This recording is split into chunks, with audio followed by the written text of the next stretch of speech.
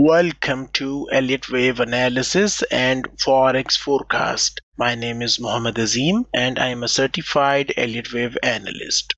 This video is brought to you by ReadyForex.com. Risk disclaimer Press the subscribe button and hit the bell icon to never miss upcoming videos. Today is Tuesday, January 2nd, 2024. I am going to analyze GBPJPY currency pair. Let us start the top to bottom Elliott wave analysis. Inside daily time frame, the trend is down in pound yen currency pair. Daily time frame resistance is present at 188.64 price level. Price action is most likely going to drop to print bearish wave A, B and C zigzag corrective leg in coming trading days. A decisive bullish breakout above 188.64 resistance area is going to end down trend in daily chart of GBPJPY currency pair. Next, let us take a look at 4 hour time frame. Price action is printing lower swing highs and lower swing lows. To me, GBPJPY pair trend looks down in 4 hour time frame. Next, let us take a look at 1 hour time frame. The trend is down in 1 hour chart. Intraday resistance is present at 184.30 price level. Price action is most likely going to drop to print bearish wave 5 impulse leg which offers a chance to join the down downtrend in GBPJPY pair. A decisive bullish breakout above 184.30 resistance level is going to end downtrend in one hour chart of Great British Pound versus Japanese Yen currency pair. To be more specific, the red color highlighted area offers a selling opportunity which is the previous fourth wave of one lesser degree. Take note, you must always trade with money management rules to control risk.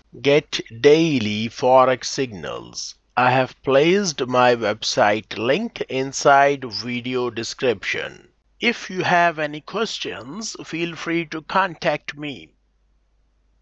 For more forex trading information, visit readyforex.com.